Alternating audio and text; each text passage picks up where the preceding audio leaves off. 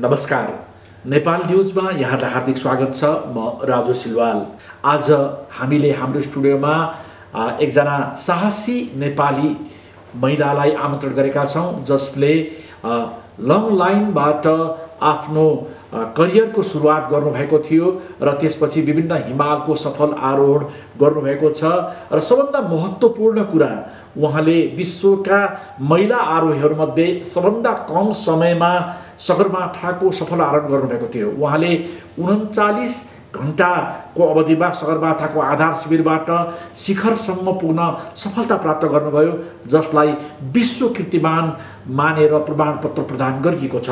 उहाँ हुनुहुन्छ फुन्जुलामा हालै नेपाल सरकारले उहाँलाई तेन्जिङ हिलारी पुरस्कार समेत प्रदान गरेको थियो र उहाँले सो पुरस्कारमा प्राप्त रकममा थप रकम समेत राखेर सगरमाथा आरोही सङ्घलाई प्रदान गर्नुभएको थियो। उहाँसँग हामी उहाँको आरोही जीवनका विविध पक्षबारे कुराकानी गर्नेछौँ।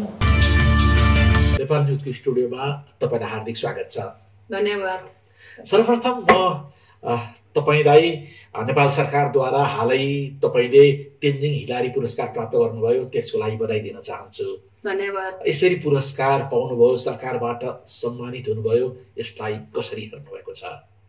त्यसको लागि त म एकदमै धेरै खुसी छु अनि हाम्रो सरकारले हामीलाई यसरी रिकगनाइज गरिदियो। त्यो भनेको चाहिँ हाम्रो लागि अझै पनि राम्रो काम गर्नु भनेर एउटा मोटिभेसन दिनुभएकोमा त्यसको लागि चाहिँ म सरकार अनि नेपाल टुरिज्म बोर्ड बाँकी हामीलाई संस्था जस जसले सपोर्ट गर्नुभएको सपोर्ट नगर्नु भएको सबैजनालाई चाहिँ धन्यवाद भन्न चाहन्छु। अब त्यो पुरस्कारलाई कसरी सदुपयोग गर्नुहुन्छ? त्यो पुरस्कारमा चाहिँ हामीले पचास हजार मैले चाहिँ पचास हजार पैसा पाएको थियो। अनि मैले त्यो पचास हजार पैसामाथि आफ्नो एक लाख पचास हजार थपेर दुई लाख रुपियाँ पैसा बनाएर दुई लाख रुपियाँ पैसा चाहिँ मैले हाम्रो सङ्गरमाथा सङ्घको अक्षय कोषमा मैले जम्मा गरेको छु।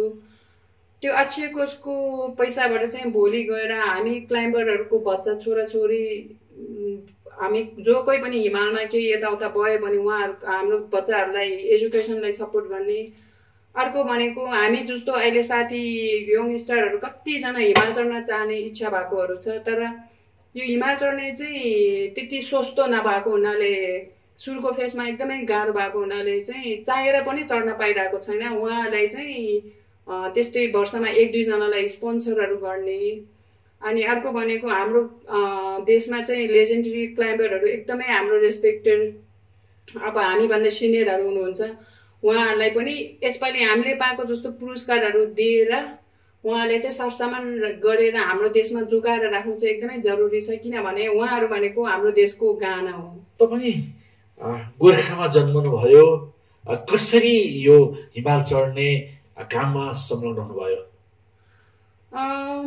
यो हिमाल चढ्ने त खासै म माथि अब हाम्रो गाउँ हामी चाहिँ म चाहिँ हिमालमा जन्मियो हुर्कियो भयो भने नि हाम्रो ठाउँमा चाहिँ हिमाल चढ्ने भनेको के हो थाहै छैन। हामीले हिमाल चढेर के हुन्छ हिमाल चढ्ने के हो भनेर केही पनि थाहा थिएन।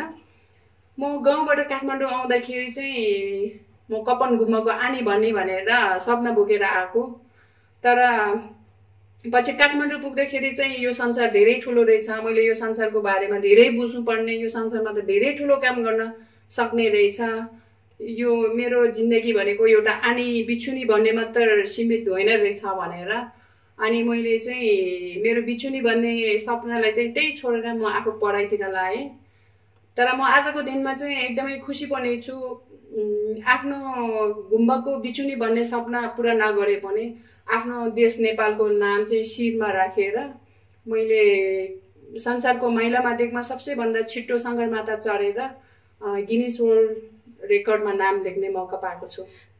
त्यो दिनलाई सम्झिदिनुहोस् न सन् दुई हजार अठारमा तपाईँ सगरमाथामा जानुभयो र अहिले विश्वमा सबैभन्दा कम समयमा सगरमाथाको आधार शिविरदेखि सगरमाथाको शिखरसम्म पुग्न सफल हुनुभयो। तपाईँ उन्चालिस घन्टा तपाईँको समय अवधिभित्र तपाईँ शिखरसम्म पुग्नु भएको थियो। त्यो त्यो दिनलाई तपाईँले कसरी व्यवस्थापन गर्नुभयो?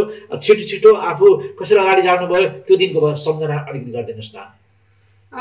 खासै त्यस्तो एकदमै कठिन त थिएन किनभने सबैजनाले मलाई एकदमै सपोर्ट गर्नुभएको थियो। हाम्रो गाइडहरू अनि हाम्रो लेजन अफसरहरूले सबैजनाले एकदमै सपोर्ट गर्नुभएको थियो। मैले चाहिँ म चाहिँ यसो यस्तो गर्ने। म चाहिँ यसरी छिट्टो बेस क्याम्पदेखि समिटसम्म अ, सय घन्टै लाए पनि मैले चाहिँ एउटा रेकर्ड बनाउने हो। सो भोलि गएर यो रेकर्डले कसैले ब्रेक गर्ने हो? अनि यति मैले यो काम चाहिँ राम्रो गरेँ रहेछ भने भोलि कसैले ब्रेक गर्ने हो भनेर सबैजनाले एकदमै सहयोग गर्नुभयो साथ दिनुभयो। तर अब माथि जाँदाखेरि चाहिँ त्यहाँतिर अलिअलि अब प्रब्लमहरू आएको थियो त्यसलाई अब कस्तो खालको प्रब्लम आएको थियो? अब मेरो चाहिँ खासै माथि यो भन्दा यो उन्चालिस घन्टाभन्दा अलिकति छोटो समयमा गर्ने भनेर मेरो आफ्नै भित्र एउटा प्लान थियो तर जो मसँग जाने चाहिँ उहाँको त्यो अक्सिजनको मार्क्स रेगुलेटर बिग्रिएर अब त्यसपछि त्यो बाटो बिचमा अलिकति प्रब्लम आएको थियो। तर अब मैले त्यतिखेर के के सोचेको थियो भने मैले मेरो यो रेकर्ड त अब जहिले पनि बनाउन सक्छ तर मेरो साथीलाई केही यताउता भयो भन्दा राम्रो हुँदैन भनेर मैले त्यतिखेरै डिसाइड गरेर अनि एक रात हामी क्याम्प थ्रीमा बसेर अनि माथि समिटमा गयो। त्यसपछि मनस्लो पनि चढ्नुभयो। कस्तो भयो त्यतिखेरको अनुभव? मानसलु चढ्दाखेरि त एकदमै खुसी अनि हामी म आफ्नो म आफै पनि एउटा गोर्खा जिल्लाबाट आएको अनि आफ्नो आफू त्यही ठाउँमा हुर्किएको त्यही ठाउँमा जन्मेको त्यही हिमालको काखमा हुर्किएको अनि त्यहीँ चढ्न जान पाउँदा त एकदमै खुसी। हजुर यसपालि पनि विभिन्न देशका सत्रवटा टोली मनासलु चढ्न गइरहेका छन्। किन मनासलुको आकर्षण के हो खास? मानासुलु चाहिँ हामीले वर्ल्डमा चिन्नु पर्दाखेरि चाहिँ किलार माउन्टेन एकदमै एकदमै टेक्निकल एकदमै एकदमै ब्युटिफुल सुन्दर माउन्टेन भनेर चिनिन्छ। सो मानासुलु चाहिँ एकदमै सबैजनाले चढ्नुपर्ने हिमाल छ। एकदमै राम्रो हिमाल छ। हजुर। तपाईँले आफ्नो करियरको सुरुवात यो हेलिकप्टरबाट हिमालमा मानिसहरूलाई उद्धार गर्ने कामबाट सुरु गर्नुभयो। त्यो काम कस्तो हुन्छ कति गाह्रो हुन्छ त्यसको बारेमा के बताइदिनुहोस् न मैले चाहिँ सुरुमा चाहिँ माउन्टेनियरिङ सुरु गर्नुभन्दा अगाडि नि मैले सिमरिक हेलिकप्टर कम्पनीमा चाहिँ लङ लाइनको ट्रेनिङ खास लङलाङ के गर्नुपर्छ? तपाईँले के गर्नुपर्छ त्यहाँ? लङ लाइनको चाहिँ खास गरी लङ लाइन रेस्क्यु चाहिँ छ हजार मिटर माथि अथवा सात हजार मिटर माथि जहाँ कि हेलिकप्टर ल्यान्ड गर्न सक्दैन त्यहाँ चाहिँ हामी रोपमा झुन्डेर गएर त्यहाँबाट मान्छेलाई बचाएर लिएर आउने हो। हजुर। हेलिकप्टरको मुनि हेलिकप्टरको मुनि डोरी फिक्स नै हुन्छ। हामी चाहिँ अब बिस पच्चिस मिटर तिस मिटरको डोरीमा त्यसमै हामी झुन्डेर जाने हो अनि हेलिकप्टर पाइलटले चाहिँ माथि ड्रप गरिदिन्छ। अनि हामी चाहिँ त्यहाँ बिरामीलाई के छ कस्तो छ त्यसलाई व्यवस्था गरेर फेरि तल आउँदाखेरि त्यही रोपमै लिएर आउने. तपाईँले त्यसरी उद्धार गरेको कुनै एउटा घटनाको बारेमा बताइदिनुहोस् न सब बिर्सिन नसक्ने मैले त्यसरी हिमालबाटै मैले रेस्क्यु गर्ने मौका चाहिँ पाएको थिएन। मेरो चाहिँ सुरुमा चाहिँ म यहाँ ट्रेनिङ गरेको थियो ट्रेनिङ गरिरहेको थियो। त्यसपछि चाहिँ म स्विजरल्यान्डमा गएर ट्रेनिङहरू कम्प्लिट गरेर आइसकेपछि चाहिँ म माउन्टेनियरिङतिर धेरै फोकस भयो। तर पनि म आज एउटा सक्सेस माउन्टेनियरिङ छु।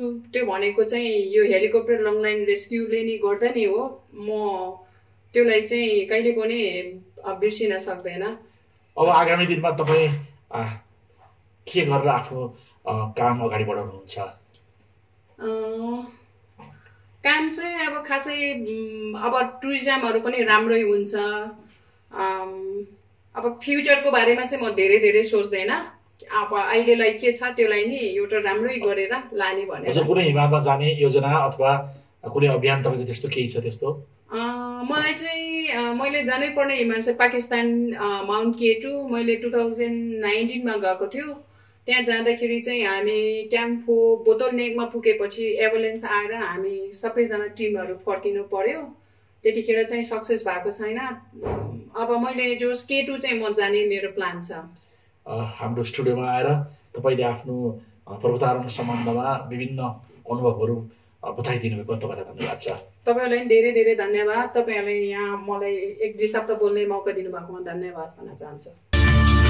यसका साथसाथै आजको कार्यक्रम यही समाप्त गर्ने अनुमति चाहन्छु। अर्को दिन अर्को अतिथि लिएर म पुनः उपस्थित हुनेछु। त्यतिन्जेल हामी सबैलाई आज्ञा दिनुहोस्। नमस्कार।